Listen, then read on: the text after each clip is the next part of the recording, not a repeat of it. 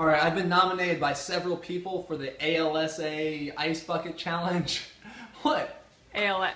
It's but it's from the LALS Association. Oh. And um, one of the guys that nominated me was actually Brandon Hawk, who from I I've learned that if you want to make a change in your life, you need first awareness, then acceptance, and then action. And since I don't know too much about the ALS Association, I don't work for them, I'm not going to necessarily just blindly follow the crowd on this one. But what I will do is first make a toast to them for bringing so much awareness to this challenging disease, to bring so much awareness to charities, to bring so much awareness to water, and maybe even the challenging drought that California is going through. And my challenge to you, and I nominate everyone to watch this video, instead of pouring a bucket of ice on your head, to drink a gallon of water, of spring water preferred, a day.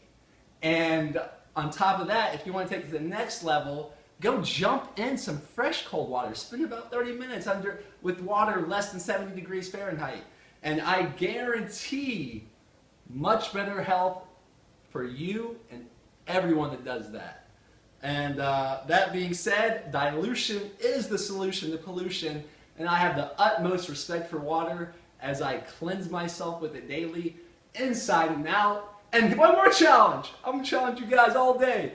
Take all cold showers for a month. See what happens to you then. No more hot water. You'll use less water, your endorphins will get going, you'll be awake. Cut me off.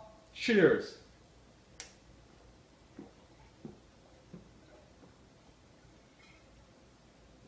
You don't have to drink it that fast, but I figure it add to the entertaining value. Please comment on my pimple below. I'm 29 years young I'm getting pimples. I'm doing something right.